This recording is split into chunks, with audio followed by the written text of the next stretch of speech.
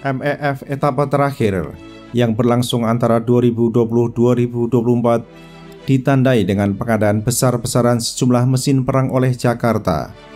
Dari segi kuantitas maupun nilai program, akuisisi 42 Rafale senilai 8,1 miliar US dollar merupakan kegiatan terbesar.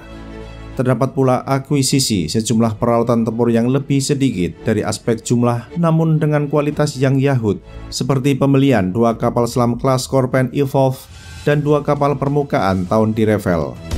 Tidak berlebihan untuk menyatakan bahwa MEF 2020-2024 Zonder mengecewakan seperti MEF 2015-2019.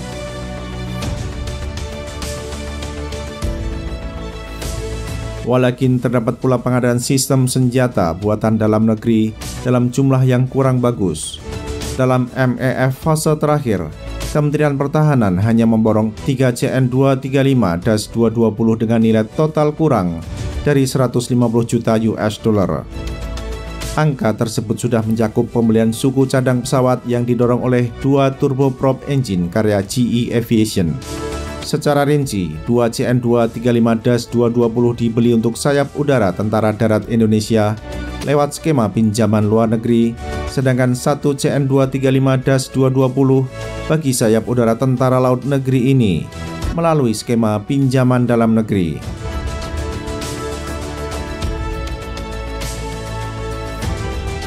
Tentu saja dengan hanya 3 CN235-220 yang dipesan oleh Kementerian Pertahanan, menjadi pertanyaan tentang keseriusan mendukung industri pertahanan domestik.